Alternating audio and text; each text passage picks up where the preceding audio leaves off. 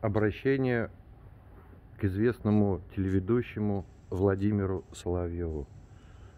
Владимир Соловьев, не нужно говорить в эфире о Европе или о Германии такие фразы «А что вы сделали для мира и чем вы такие крутые?» Владимир Соловьев, все ученые всего мира трудятся на благо человечеству.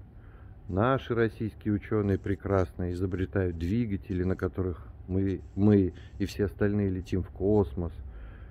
Но а, у нас много ученых хороших, которые изобретают какие-то вещи, но и в мире этих ученых очень много. И поэтому я говорю всем ученым спасибо за то, что они могут нам давать счастье в виде каких-то определенных вещей качественных.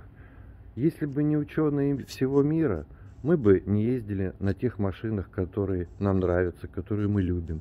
Посмотрите, какой автопром может похвастаться вот таким вот качеством.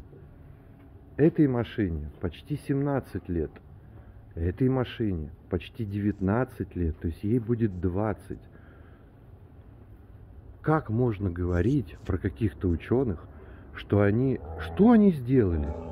И вы же сами сидите в эфире, говорите в микрофон Шур австрийский, смотрите в ноутбуки, которые сделали не в нашей стране, разговариваете, наверное, в сотовые телефоны, которые сделали не в нашей стране, и пользуйтесь, скорее всего, автомобилем, который тоже выпущен не в нашей стране. Еще раз говорю, я не говорю про то, что наши ученые плохие. Нет, наши ученые прекрасные. Особенно прорывы в медицине и все такое. Поэтому Владимир Соловьев, уважаемый человек, вы бы сидели бы в своем эфире и рассказывали лучше какие-нибудь сказки Пушкина, нежели чем сидеть и заниматься вот такой фигней, гнать на весь мир, когда вы сами для мира ничего не сделали. Поэтому подумайте, пожалуйста, об этом, что вы говорите и кому вы это говорите. Всем спасибо.